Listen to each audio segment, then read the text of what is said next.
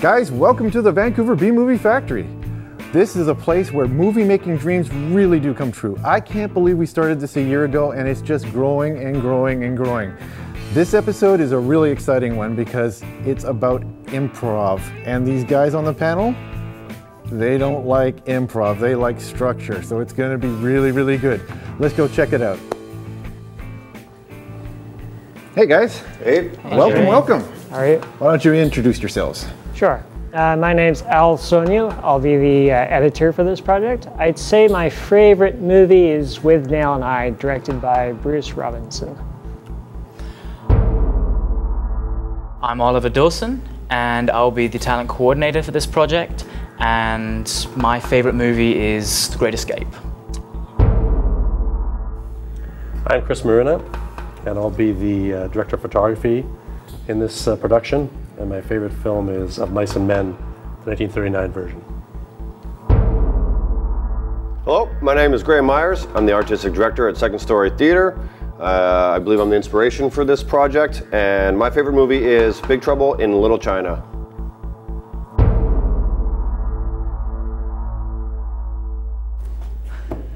And as you guys already know, I'm Jimmy Stewart, and welcome to the Vancouver B Movie Factory.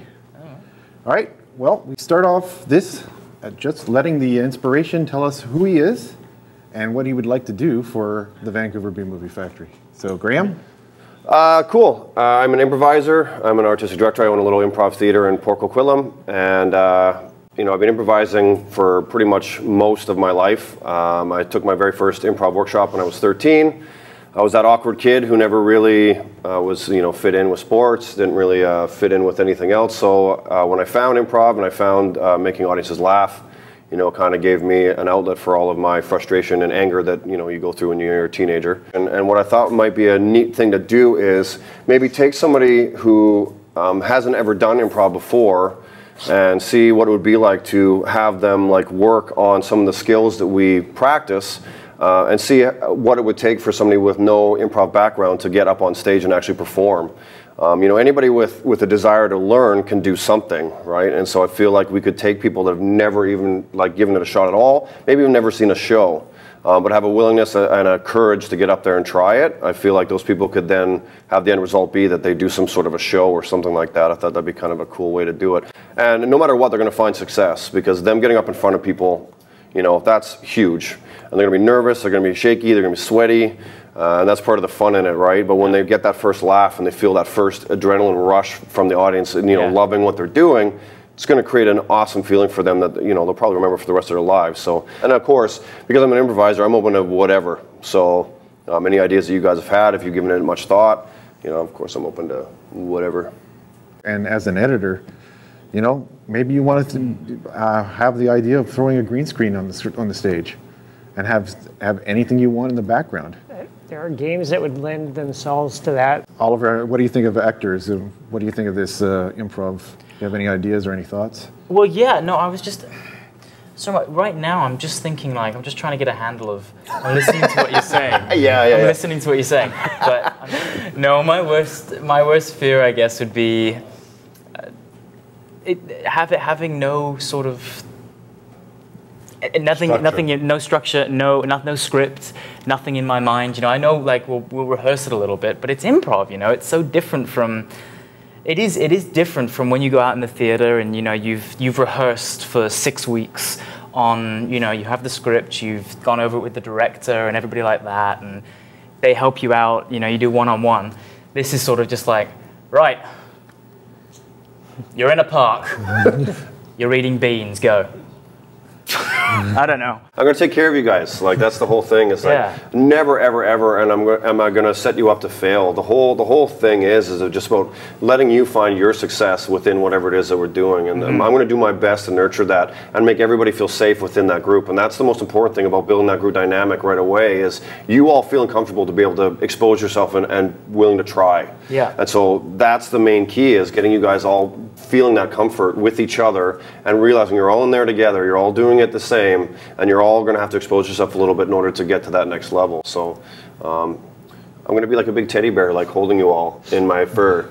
And then, and then you'll be in there. And then when I'm ready, I'll, I'll open up my arms, and you'll come out of my fur and perform. I like analogies. What can I say? I'm a big Brilliant. bear, and you'll be in my fur. So it could be really, it could be really fun. It'd be a really good time. Or it'll be awful. Or it'll be really, Really, terrible. really, really and we will just erase. Forget everything you're seeing right now. No, I'm going to show everything. Yeah, show it all. Well, that's the great thing about it is that show it all. That's so Yeah. great. Could be Titanic too. Yeah, it could be. And I'm, I'm on board. I'm not getting off that ship, so I'm going down with it. I'm going down. I'm, I'm there. I'm there. I'm excited. I'm excited. I, I'm super stoked. Like this is what I do, and this is what I love. And uh, you know, getting ten fresh people that have, may not have any experience at all, that for me is like amazing because I get to I get to give these ten people a little bit of what it is that we do. And then, and and some, I'll be honest with you, this isn't for everybody. A lot of people go, "Eh, "It's weird. I don't get it. Eh, We- we make- want I like though. to think about things," eh," and then they what? run away. We want that. Yeah, well, that's what I want too. I, Uh, want to see that too. I want to see a guy who Totally. succeeds, is really good at it, a guy who just. A lot of people, you know, acting people like to be actors, but uh, as soon as you put the lights on them, a lot of them just freeze right up. They're great in real life, Yeah.